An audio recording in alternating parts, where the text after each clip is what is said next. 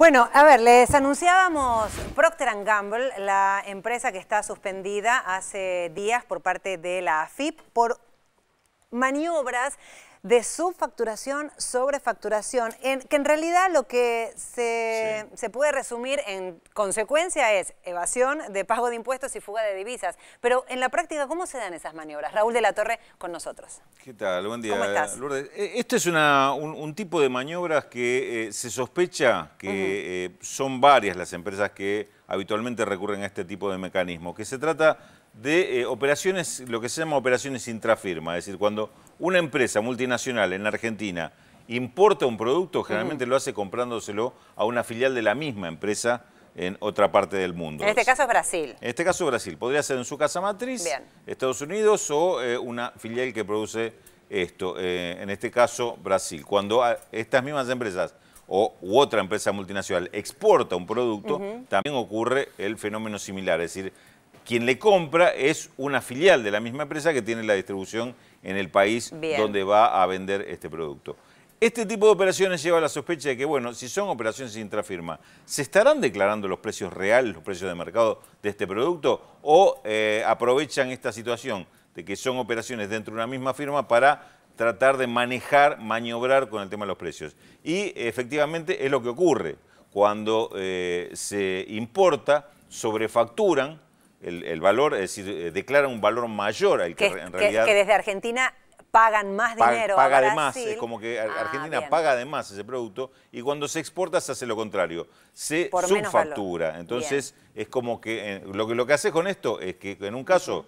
además de pagar el producto, está sacando más dólares porque le estás dando algún otro destino. De ahí la fuga de divisas. De ahí la fuga de divisas. Y cuando eh, se exporta, el fenómeno es que declarás menos dólares de lo que en realidad estás cobrando. Es decir, dejaste en el exterior la diferencia. Digamos, esto, este último caso eh, se ha dado eh, con cerealeras, con exportadoras cerealeras y también se está investigando si esto se sigue, eh, sigue ocurriendo. En este caso, lo que pasó fue, Procter Gamble importaba productos, máquinas de afeitar, productos de limpieza desde Brasil para vender en Argentina. Eh, le compraba a Brasil, pero no le facturaba a Brasil, no le facturaba a su filial en Brasil, facturaba una tercera empresa que era una, comercializadora, una trader, como se le dice en el comercio exterior. ¿Que pertenece a Procter también?